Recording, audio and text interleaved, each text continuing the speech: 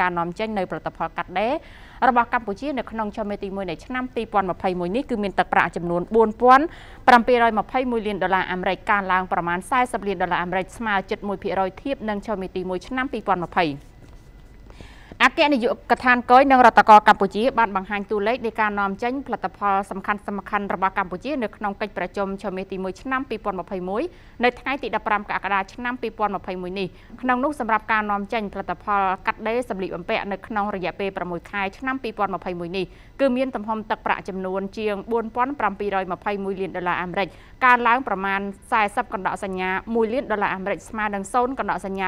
9%បើធៀបនឹងរយៈពេលដូចគ្នាឆ្នាំ2020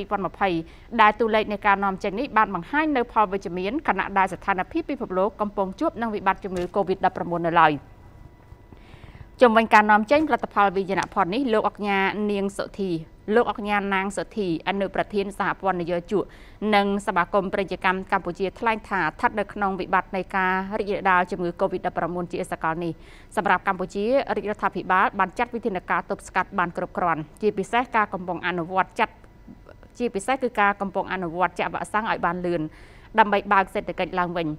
ចំពោះការបញ្ជាទិញក្នុងវិស័យវាយនភ័ណ្ឌបច្ចុប្បន្នសម្រាប់ការបញ្ជាទិញរបស់កម្ពុជាគឺมันមានអ្វីប្រែប្រួលនោះទេដោយអាចរក្សានៅតួលេខដដែលឬក៏អាចកើនឡើងបន្តិចបន្តួចដូច្នេះយើងសង្ឃឹមថាប្រសិនការបញ្ជាទិញมันមានការប្រែប្រួលវិស័យនេះនឹងងើបឡើងវិញបន្តិចម្ដងបន្តិចម្ដងដែលជាផ្នែកមួយយ៉ាងសំខាន់នៅក្នុងការជួយដល់កំណើនសេដ្ឋកិច្ចងើបឡើងវិញ វិស័យវិជ្ជាភ័ណ្ឌទាំង3ប្រភេទទាំងកាត់ដេរទាំងស្បែកជើងនិងទាំងកាបូបយូស្ពាយហ្នឹង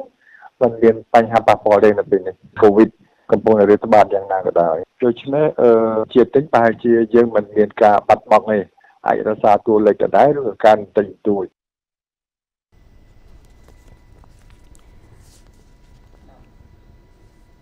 ជាមួយគ្នានោះផងជាមួយគ្នានោះផងដែរពាក់ព័ន្ធជាមួយនឹងទំហំពាណិជ្ជកម្មអន្តរជាតិនៅក្នុងឆមាសទី1នៃឆ្នាំ2021នេះ